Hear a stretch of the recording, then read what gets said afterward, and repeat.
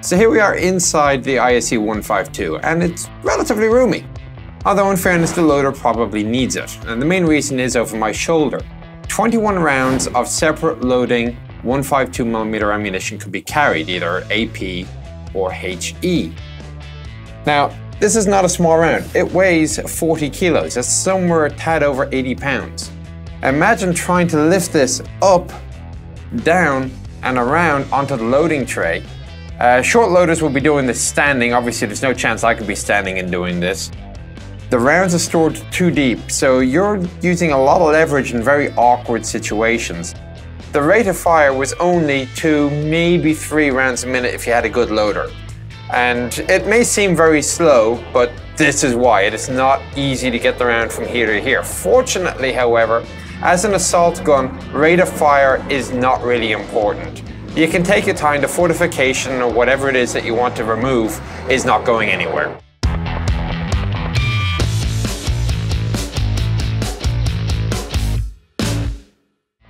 A little bit further to the left, the AP rounds would be stored back here. Now, they call AP, but realistically, if you hit any tank with a 152 HE round, it is having a very bad day.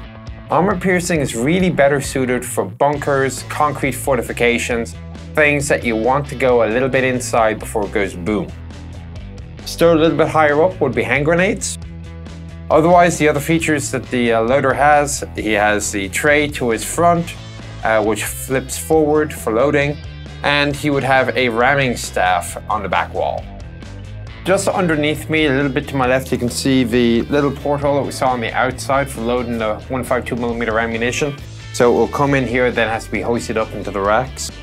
Little bit further forward than that, you can see on the floor the two torsion bars for one set of road wheels going crosswise. As you can see, one torsion bar is a bit further forward than the other.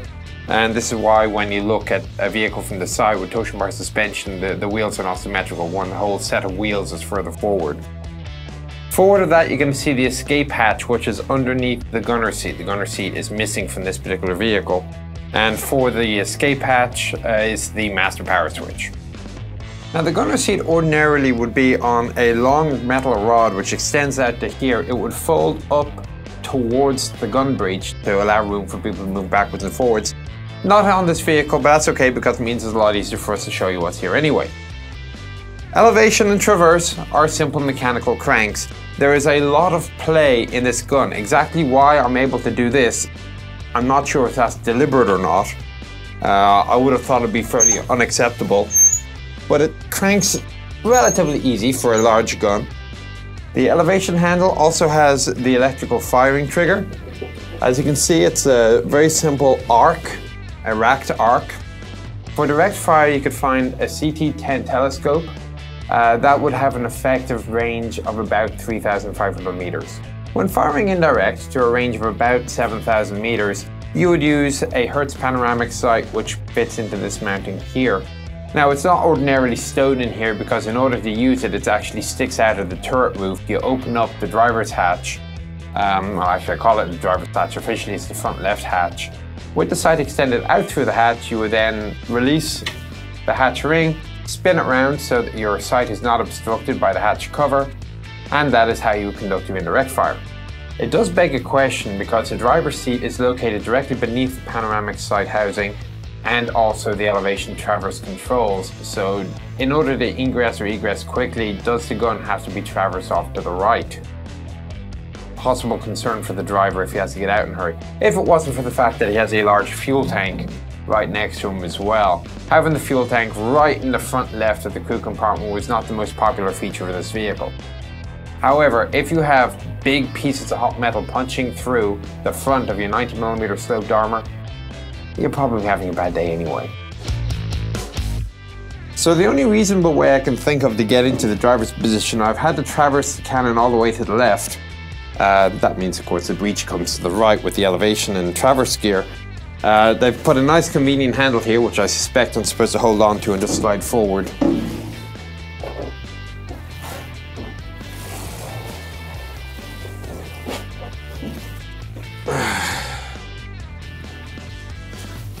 Actually, this isn't so bad at all. Now, if you remember from the Object 704, I found the driver's position to be absolutely miserable. Uh, but I suspect that was also because he had a much more angular armor plate. This one with the straight front armor, I have a little bit more room, and it's it's actually not bad. I'm reasonably comfortable. I can see the driver's housing to my front. I can reach the gear stick easily enough. Hand throttle. My only concern is that the seat back is a little bit leaning a bit to the rear, may interfere with here.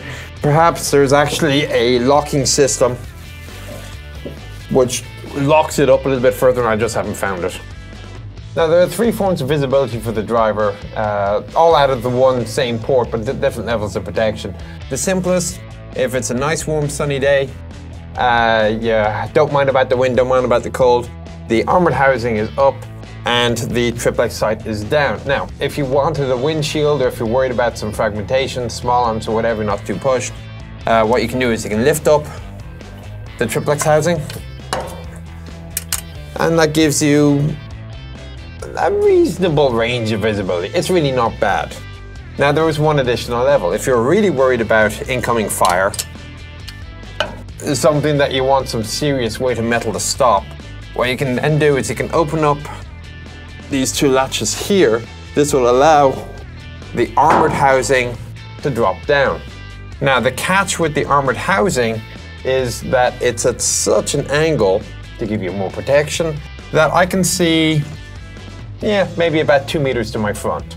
Uh, you are absolutely reliant upon the commander or somebody else telling you where you're going. Because quite literally, we're looking at a slit maybe this big, aiming down at an angle. It's all but useless.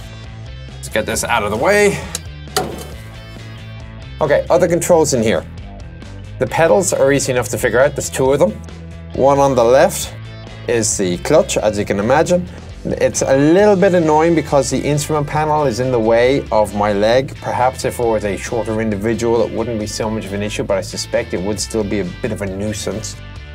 It's either the heaviest clutch pedal I've ever seen or it's got the shortest travel I've ever seen. I can get the thing to go maybe two centimeters, but if that's enough, that's enough. Steering levers on the left as well. So now I have the steering lever and I'm trying to put my foot on the clutch and not get it caught with the instrument panel. So I'm not actually sure I could drive this vehicle myself, but it is by no means the worst of the Soviet vehicles I've been in. So I would wager that the average Soviet crewman wouldn't have too much difficulty in driving the vehicle. Now there are some other nice features of it. For example, gone is the simple clutch and brake steering system. This now has a planetary steering system the advantage to this is that it still puts power to both sides when turning. So there are multiple stages again, so as you bring it back to the first stage, you're increasing the torque by about 1.35. You pull it back even further, and now you start applying brake. Uh, of course, two tillers, pull back in both, and there's your brake. Accelerator is on the right-hand side, there is an auto governing system. So what this does is it increases the fuel flow depending on the load. So if you keep your pedal at a set level, you keep the gear in the same gear, then as the vehicle is going over rough terrain, the governor will adjust the fuel load into it so that you continue to traverse on the same speed. Very clever idea, very easy on the driver that way. The gears themselves for the transmission, there are four forward speeds, one reverse. You add to that a transfer case with high and low range, gives you eight forward, two reverse, gives you a good amount of flexibility over all sorts of terrain. The gear pattern, however, is a little bit weird. So the gear stick is to the front right. First you pull straight back for first, you go front and left for second, left and back for third, and then center and front gives you back to fourth. And then reverse is forward uh, to the right. The high-low selector is the lever to the left. Further to the back, you're going to have your hand throttle for idling or starting purposes. Uh, there is a cool down period. The manual points out that if the temperature is over 70 degrees in the coolant, don't switch off the engine. Let it idle, let it cool down for a couple of minutes, and then kill the master power, and that should shut down your engine. Okay, so this would be my driving position. Acceptable, except for the instrument panel chopping off my left leg. Again, may just be my height, or perhaps you can just move the instrument panel. Easily solved. Now, if I move the controls back out of the way, I have a quick tour around to see what's in here. It's of course to our left mentioned already the fuel tank. The internal fuel tank system is about 500 litres. Add to that the external system, we get about 220, 240 kilometers on a single tank. The horn, I don't know why it's always the biggest button inside a Soviet tank, but the horn is right there. Instrument cluster, top center, rev counter, lower left, coolant temperature, engine oil pressure, engine oil temperature. Uh, to the right, there is an ammeter. The one item which is kind of obviously missing from the driver's station is the speedometer. I'm not gonna lie, there is no speedometer here.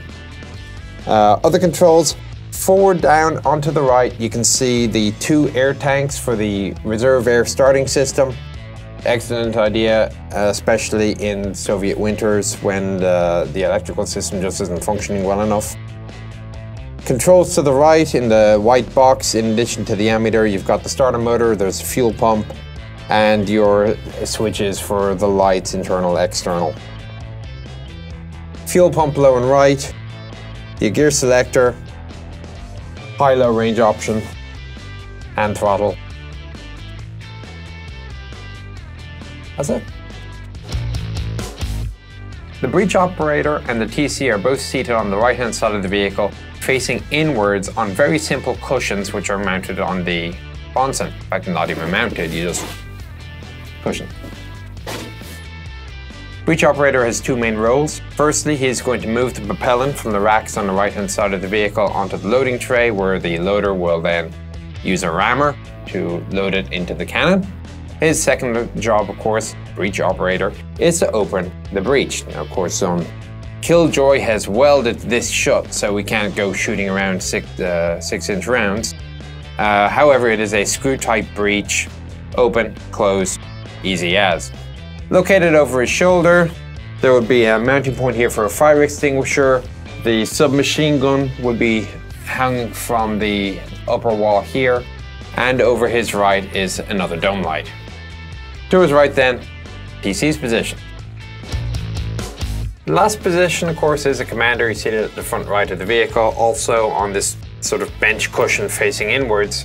Uh, he has slightly better visibility than most. He has seven periscopes in this rotating cupola, in addition to the uh, pretty common MK4. To his front, you're going to see uh, an antenna mount. This is for the 10R or 10RK radio, which would be mounted more or less here.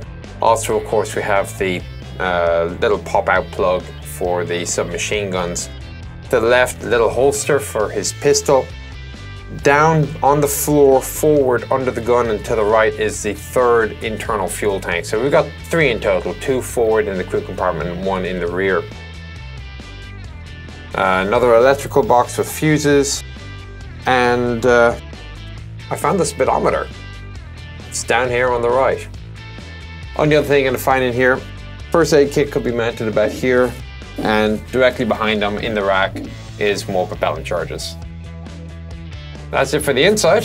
Then we'll go back out and close.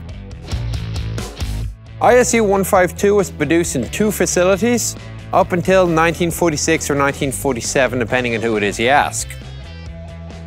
Nearly 2,000 of them were produced. A shortfall in 152mm howitzers, however, meant that a number of vehicles were built as ISU 122s with the A19 122mm howitzer.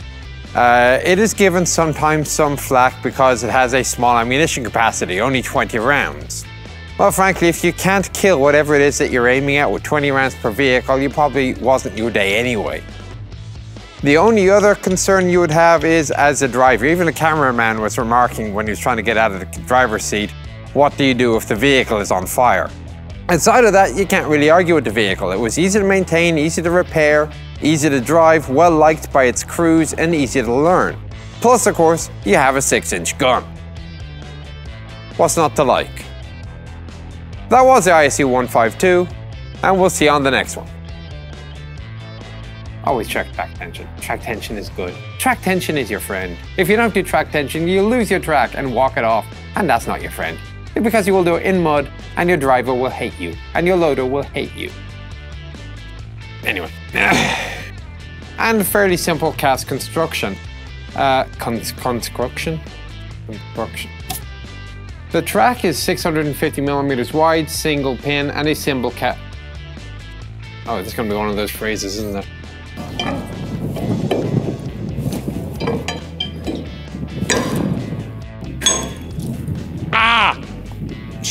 There's many things on this tank trying to kill me. Just to the front left of the driver's hatch, you're going to see a small little port for a, a uh, thing. It is a thing, yes.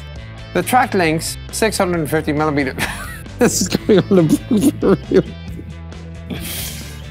Um,